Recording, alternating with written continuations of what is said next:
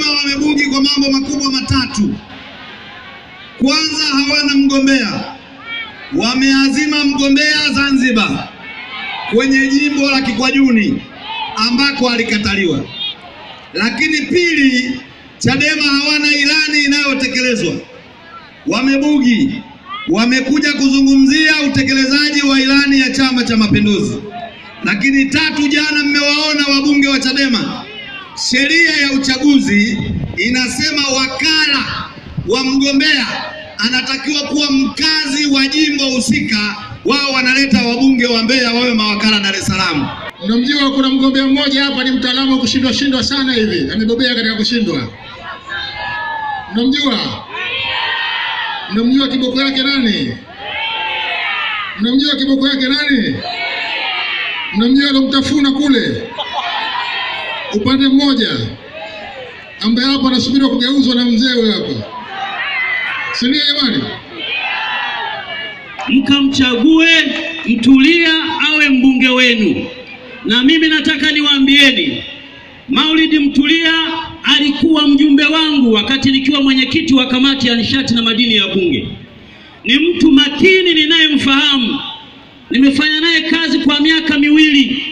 Nikiwa ninaendesha kikao, nilikuwa namuomba pamoja na kwamba yuko upinzani, akaye karibu na mimi anishauri kwa sababu nilikuwa najua ni mtu anayejua kuchambua mambo na kuelekeza mustakabali wa taifa hili.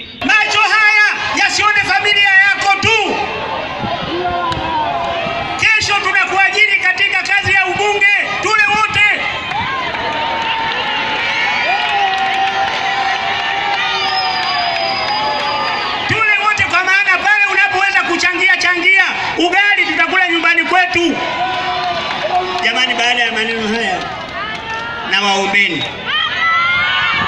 kama mzee wenu, kama rafiki yenu, kesho chagueni Chama cha Mapinduzi.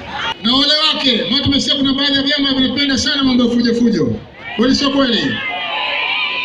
Sio kwa serikali hii, sio kwa serikali hii ya Dr. Magufuli. Dr. Magufuli oye!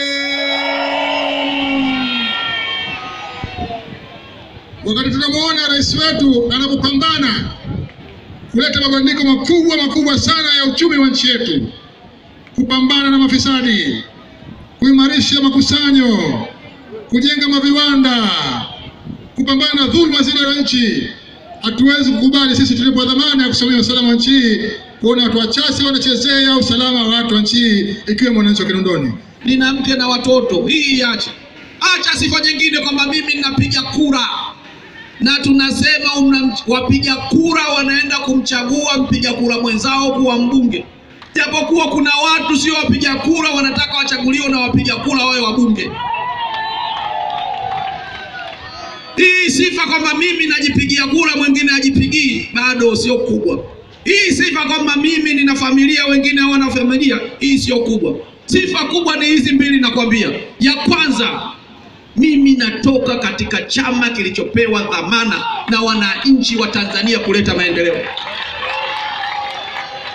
Mimi natoka katika chama ambacho mwenyekiti wangu ndio rais wa Jamhuri ya Muungano wa Tanzania na kazi zake mmeziona.